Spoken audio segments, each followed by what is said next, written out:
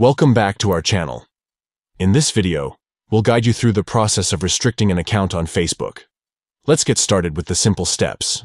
Step 1. Open Facebook. Launch the Facebook application or visit the Facebook website in your browser. Step 2.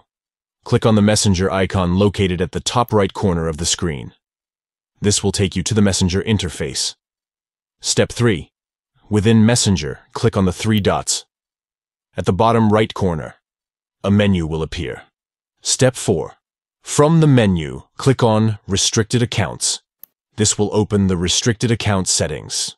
Step 5. Click on Add People.